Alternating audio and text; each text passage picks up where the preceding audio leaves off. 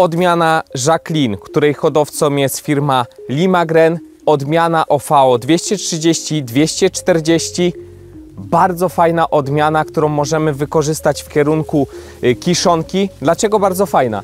Widzimy te przebarwienia antocyjanowe, które tutaj doskonale widać, czyli to oznacza, że właśnie ta hodowla poszła w bardzo mocny stay green i w bardzo dobre, fajne oddawanie wody. Dlatego również tą odmianę możemy śmiało wykorzystać w użytkowaniu na ziarno, ponieważ pomimo tego, że będzie do mnie korzystne warunki, ona będzie oddawała nam tą wodę, bo charakteryzuje się bardzo dużym stay greenem, czyli y, oddawaniem wody z ziarna będziemy zbierać dużo mniej wilgotne y, ziarno. Odmiana, która się charakteryzuje, jest, rośliny są dosyć wysokie, kolba bardzo fajnie ułożona na średniej wysokości, czyli nie ma tego problemu, nawet w momencie, kiedy roślina będzie uszkodzona przez omacnicę, to te kolby będziemy sobie spokojnie zbierać.